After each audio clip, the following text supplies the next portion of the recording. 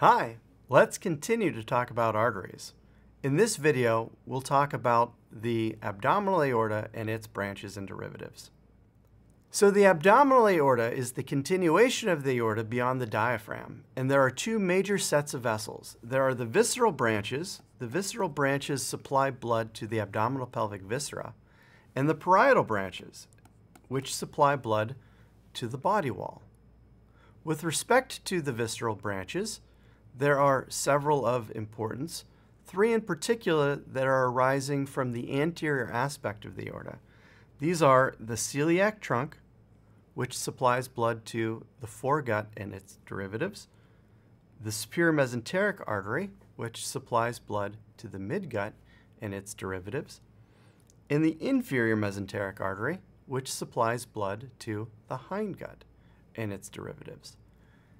In addition to that, there are several lateral branches of the abdominal aorta, so inferior phrenic arteries that supply blood to the diaphragm, middle suprarenal arteries to supply blood to the suprarenal glands, renal arteries taking blood to the kidneys to be filtered,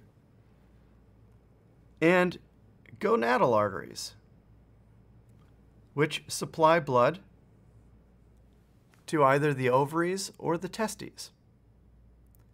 There are also several major types of parietal branches, and the parietal branches generally come off of the aorta posterolaterally, so we really wouldn't be able to see them in this plane.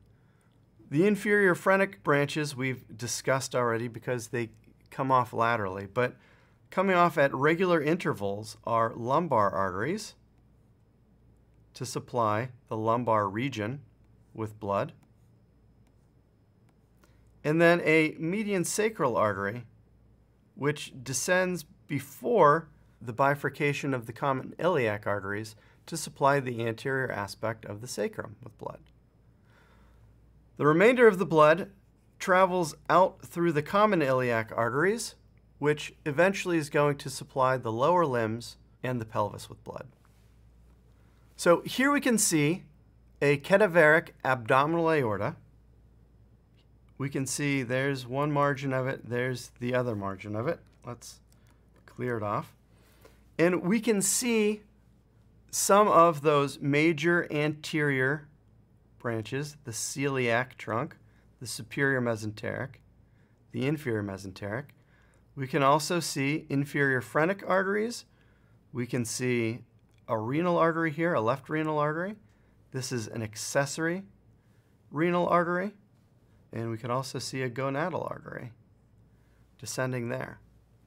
So again, here is the abdominal aorta, and we can see that it rests left lateral to the inferior vena cava, which is right there. So the abdominal aorta is on the left, the left of the individual, and the inferior vena cava is on the right.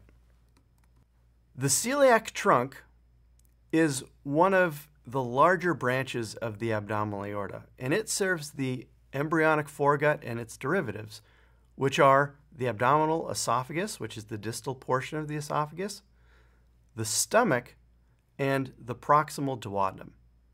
There are three major branches to the celiac trunk. These include the left gastric, the splenic, and the common hepatic artery. And let's take a look at the distribution of some of these vessels.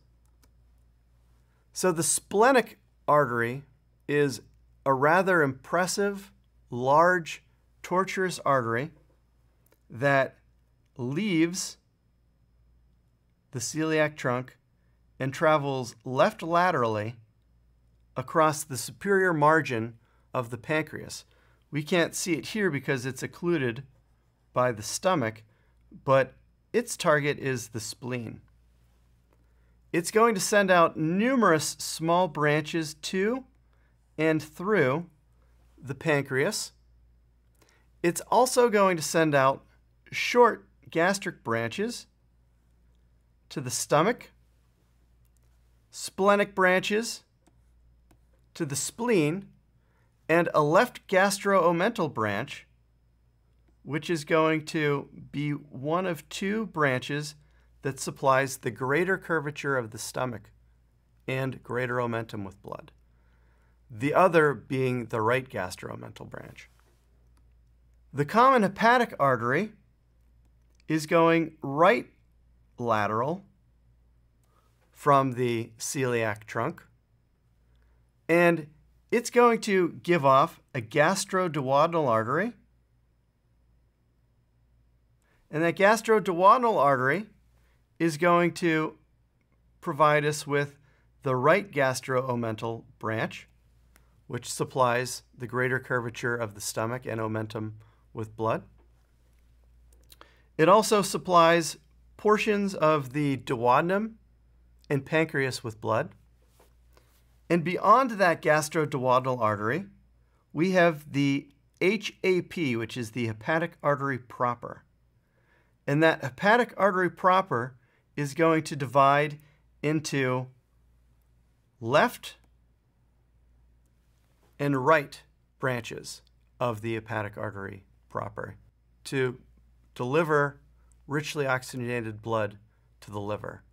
And it's also going to supply blood to the gallbladder as well. The other branch of the celiac, which we haven't discussed, is the left gastric. And the left gastric supplies blood to the lesser curvature of the stomach. And it also has some help from the right gastric, which is a branch of the hepatic artery proper. So if we think the lesser curvature of the stomach is supplied by the gastric branches, whereas the greater curvature of the stomach and the greater omentum are supplied by the gastro-omental arteries.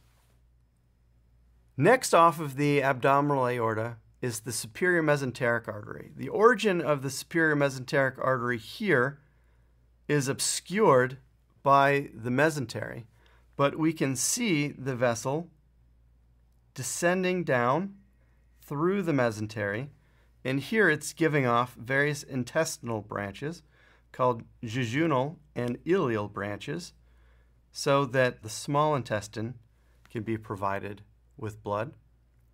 There's also an inferior pancreaticoduodenal artery, also not shown, that goes up to meet the superior pancreaticoduodenal artery from the gastroduodenal artery.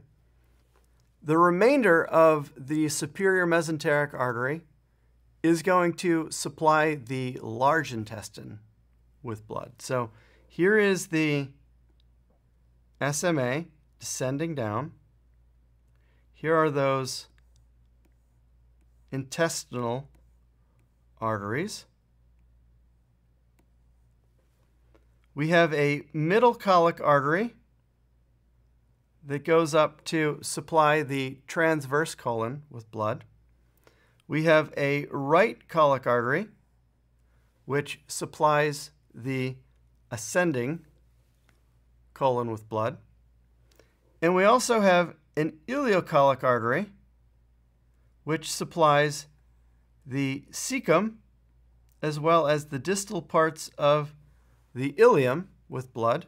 There's the ileocecal valve, the connection of the small bowel to the large bowel. And as you can see, there's a nice anastomosis between the ileocolic and the remainder of the superior mesenteric artery. So there's this glorious loop around. And the SMA has some intestinal branches and then colic branches. Now, the interesting thing about the colic branches is that they all supply the marginal artery with blood.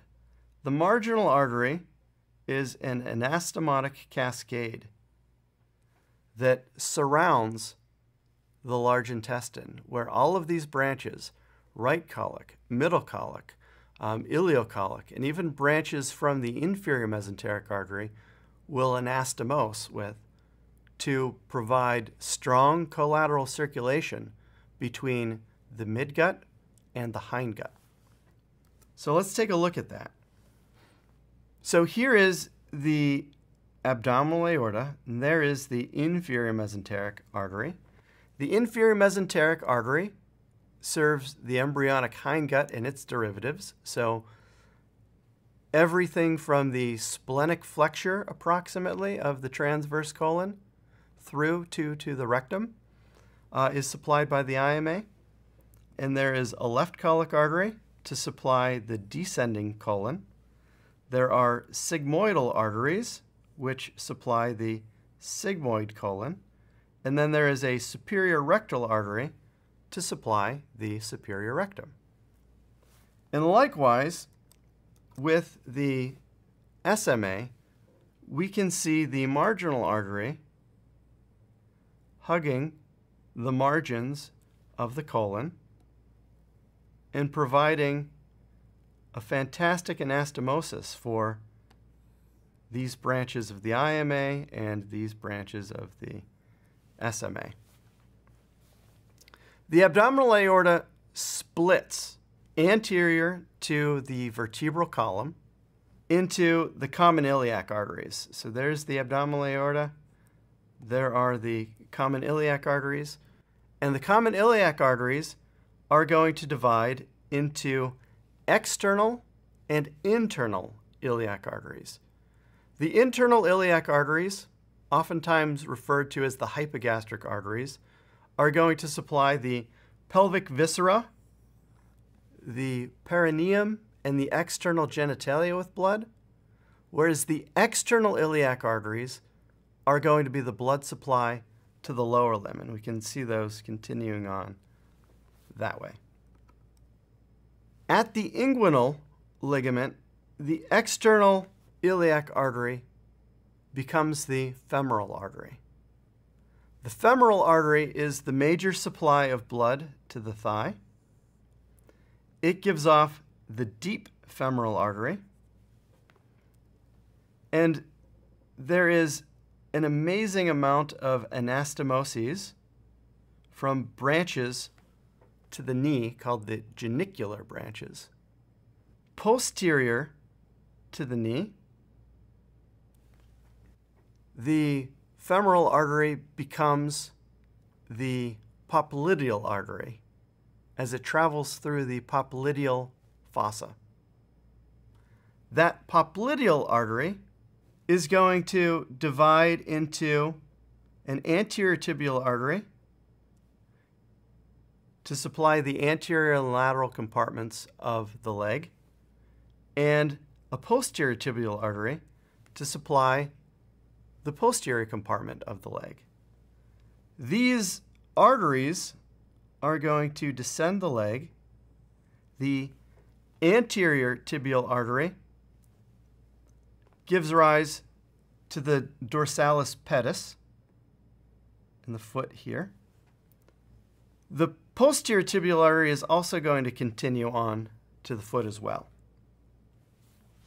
Looking at the cadaveric specimen before us, this is a posterior view.